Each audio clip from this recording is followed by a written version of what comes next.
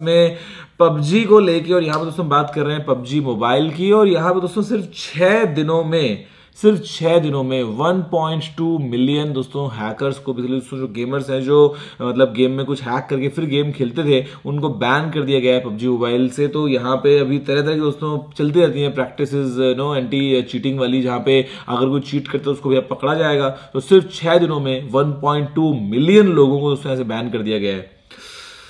वैसे अगला जो अपडेट दोस्तों, पबजी मोबाइल इंडिया को लेके है, ये थोड़ी सी जो खबर है, वो मतलब समझ नहीं आ रहा है कि हम कैसे बताएँ और मतलब नो क्या इससे हम लें। बिकॉज़ फ़िलहाल दोस्तों, यहाँ पे जो क्राफ्टन ने कुछ अभी जॉब वैकेंसीज दोस्तों जो है, वो पोस्ट की थी, उनको विड्रॉ कर लिया है। ये इंडियन मार्केट की दोस्तों, मैं जॉब वैकेंसीज की बात कर रहा हूँ, और यहाँ पर दोस्तों, ये सीनियर ई स्पोर्ट्स कंसल्टेंट की कुछ वैकेंसीज थी, जिनको अभी के लिए जो है, वो क्राफ्टन ने विड्रॉ किया है। तो लेट्स सी कि कब आता है गेम इंडिया में और हम खैर काफ़ी ज़्यादा इंतज़ार कर रहे हैं। अगर आप भी इंतज़ार कर रहे हो तो मुझे जल्दी से लाइक करके बता देना, नीचे कमेंट करते हुए कि आपको क्या लगता है टू बी ऑनेस्ट कि पबजी कब तक आ जाएगा। अब बस जो अपडेट है वो कुछ ऐसा ही है।